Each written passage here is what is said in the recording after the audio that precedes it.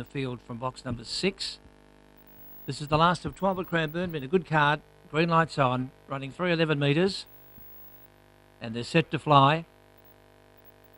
And away, favourite Rusty Boy beyond about fourth or fifth. He's trying to get through. Hugh Made who leads early. Stumble goes to its inside. Burnsy Sam the outside. Just behind them, Rusty Boy looks for the rails off the track. Amlin Jewel. Well back, Oxygen Bandit. Jesse's Jet. And our spinner as they turn for home though. And uh, getting to the front, Rusty's Boy coming again on the outside. Stumble. But Rusty Boy will just beat Stumble, I think you'll find. Uh, Burnsy Sam who Made who for the minors. Oxygen Bandit was behind them with Amlin Jewel and Jesse's Jet.